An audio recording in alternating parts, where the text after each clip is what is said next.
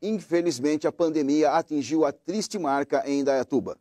Na quarta-feira, a Secretaria de Saúde do município confirmou seis óbitos com resultado positivo para o Covid-19. Devido a isso, a cidade atingiu o número de 500 mortes pela doença. Três mortes ocorreram no AOC, sendo que dois dos pacientes possuíam comorbidades. Outra vítima fatal da doença estava internada em Arthur Nogueira. Além disso, dois outros óbitos que aguardavam a comprovação para a Covid-19 foram confirmados. Desde o início da pandemia, 18.824 pessoas contraíram a doença no município. Aos familiares de cada uma dessas pessoas que nos deixaram, a TV Sol do Canal 48 dedica a solidariedade e os nossos sinceros sentimentos.